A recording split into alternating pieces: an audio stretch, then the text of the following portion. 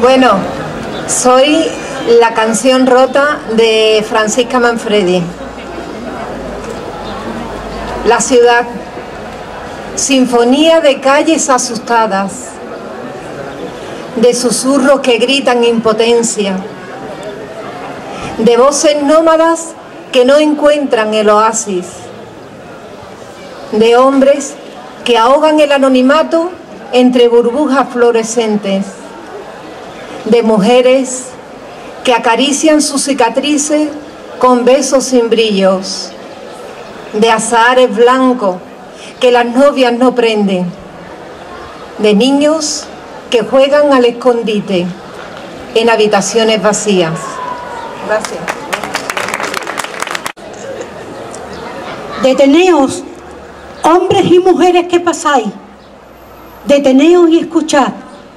Escuchad la voz de Sevilla, voz herida y melodiosa, la de su memoria, que es también la vuestra.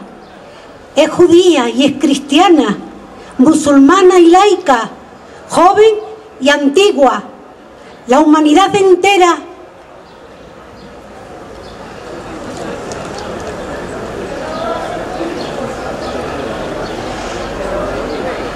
en sus sobresaltos de luz y sombra, se recogen en esa voz para extraer del pasado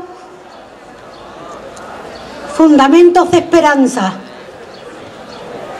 Aquí, como en otros sitios, se amaba y odiaba por razones oscuras y sin razón alguna.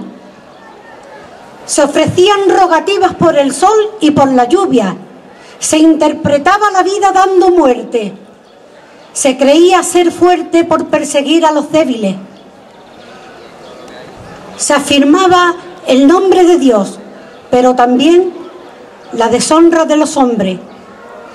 Aquí, como en otros sitios, la tolerancia se impone y lo sabéis bien vosotros, hombres y mujeres que escucháis esta voz de Sevilla. Sabéis bien que cara al destino que os es común, nada os separa.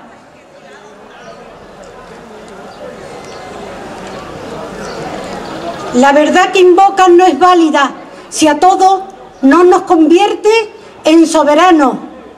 Ciertamente, toda vida termina en la noche, pero iluminarla es nuestra misión por la tolerancia. Antes de narrar, yo quería pedir que alguien cierre la puerta. Hace un frío aquí. Bueno, pues yo soy Pobreza a los 10 años de Matilde Alba Suán, poetisa argentina. Y el texto dice así.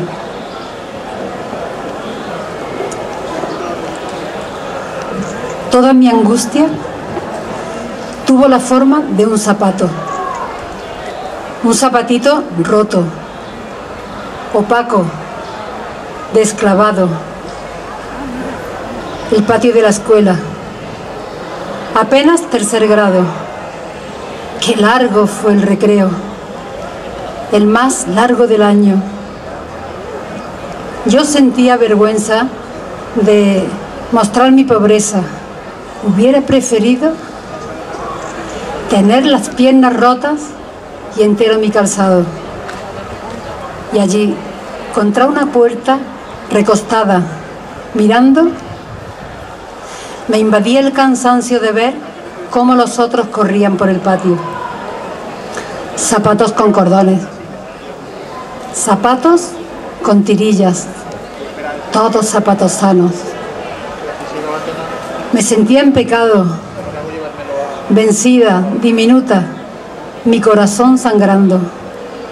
Si supieran los hombres cuánto a los diez años ¿Puede sufrir un niño por no tener zapatos?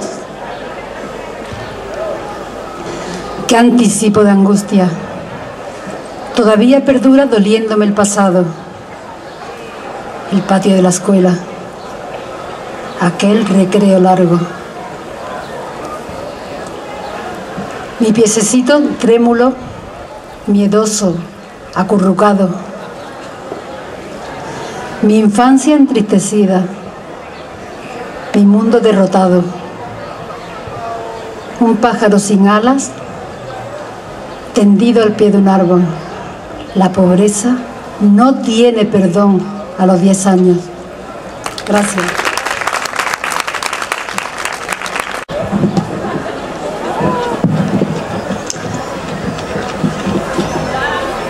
El poema que he elegido es de Eduardo Galeano se llama Los Nadies.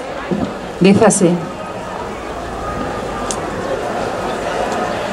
Sueñan las pulgas con comprarse un perro y sueñan los nadies con salir de pobres.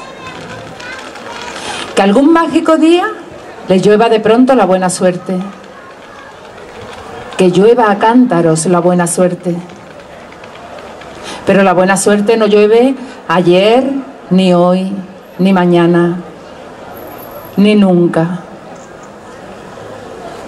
Ni en llovinita cae del cielo la buena suerte, por mucho que los nadie la llamen.